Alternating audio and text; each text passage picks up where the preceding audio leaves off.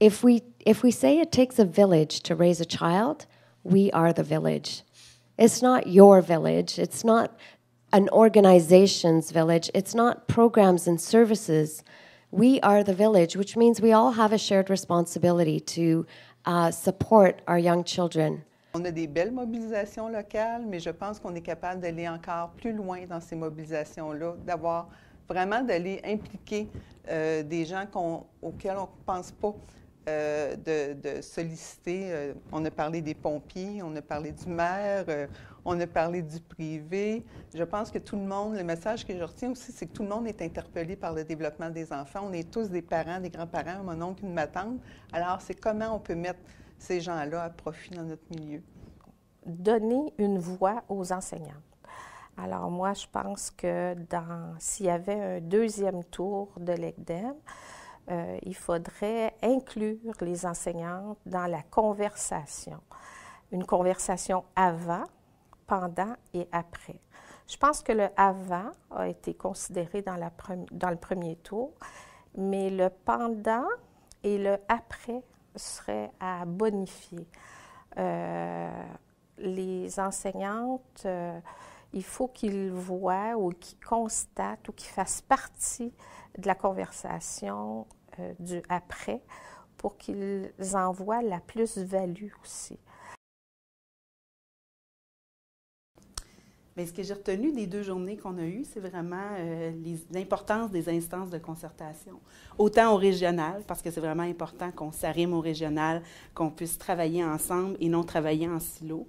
Et l'importance des concertations locales qui, eux, ont l'expérience sur le terrain et construisent vraiment une vision commune pour être capable de, travailler dans leur quartier avec leur réalité spécifique à leur quartier. Puis sinon, ben, c'est le lien qu'on a entre les différents paliers aussi. Donc, euh, il faut travailler ensemble, s'assurer qu'au régional, on réponde aux besoins du local, puis qu'on fait des projets ensemble, puis qu'on essaie de, les aider aussi euh, entre eux, à essayer de partager ces stratégies-là, tout ce qu'ils font, leur expérience, pour qu'ils puissent euh, s'inspirer des autres. dans notre cas, c'est à Montréal, donc les autres quartiers à Montréal. La question que je vais soumettre à mes, partenaires régionaux, c'est quel rôle vous croyez pouvoir jouer dans l'articulation de ce dialogue-là qu'on veut établir entre les gens au niveau local, entre les gens du niveau régional et pouvoir, pouvoir remonter au niveau national de sorte qu'il y ait une communication, euh, une espèce de, de, ligne de communication qui soit cohérente euh, entre ces différents niveaux-là. Donc, c'est vraiment, ça va être l'enjeu sur lequel on va se pencher dans les suite à la rencontre euh, des, des journées annuelles de santé publique.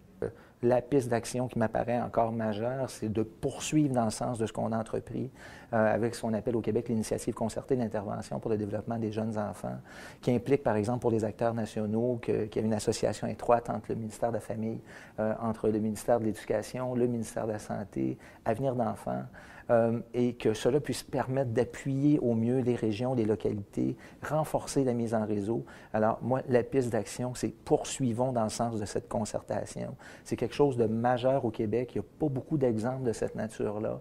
Euh, on va avoir à l'améliorer, mais c'est quelque chose forcément à poursuivre.